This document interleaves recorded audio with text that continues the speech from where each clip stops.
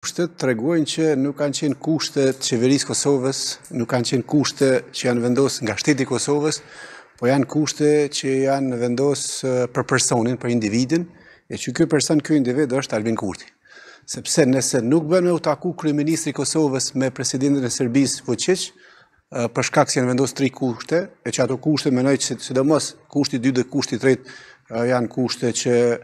kanë relevancë dhe u dashtë me mbajt, për shkak se nuk ka kuptim zhvillimi i dialogut për aq kohë sa Serbia nuk e tërheq letrën që e ka dërgu në dhjetor në Bruksel, e cila me atë letër tregon që nuk pranon me i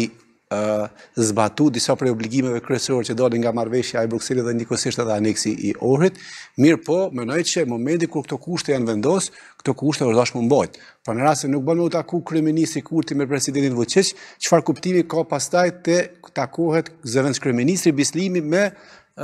Petkoviq nga Serbia, i cili është edhe udhëheqës i ekipit negociator nga ana e Serbisë. Pra, nuk po flasim më për kushte që janë vendos për dialog, që Kosova ia ka vendos Serbisë, po po flasim për tri kushte që i ka vendos individuale më shumë. Absolut, jo jo më shumë, po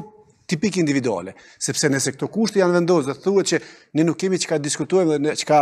negociojmë më me Serbinë për aq kohë sa nuk realizohen këto tre kushte, atëherë çfarë kuptimi ka që sot mbahet takimi dhe zhvillohet pra procesi dialogues për zbatim të marrëveshjeve kur ti ke vendos tre kushte. Pra kushtet po vlekan për kryeministrin Kurti, po s'po vlekan për zëvendëskryeministrin Besnik Bislimi. E zëvendëskryeministër i kujt është ai? Është zëvendëskryeministër i Albin Kurtit pra i qeverisë së Kosovës. Prandaj mendoj që është çështje e gabume. Momentin kur janë vendosur, kam thënë edhe javën e kaluar, momentin kur janë vendosur këto kushte, kam thënë që këto kushte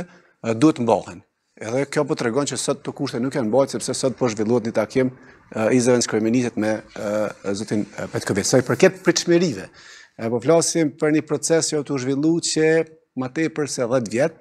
edhe për aq kohë sa Bashkimi Evropian ka me e mbajt vetëm rolin e lehtësuesit, pra jo rolin e ndërmjetësuesit, jo rolin e autoritetit, i cili në momentin kur marrëveshjet arrihen në Bruksel ose kudo tjetër, Bashkimi Evropian nuk vendos afate kohore dhe obligime specifike për secilën palë, edhe në afatin kohor kërkon llogari prej palëve se ku janë me zbatimin e pika, mendoj që ky proces ka me zgjat kështu edhe me vite të tjera, edhe nuk ka me pas sukses, kështu që edhe takimi i sotshëm veç ka me u regjistru si takim ku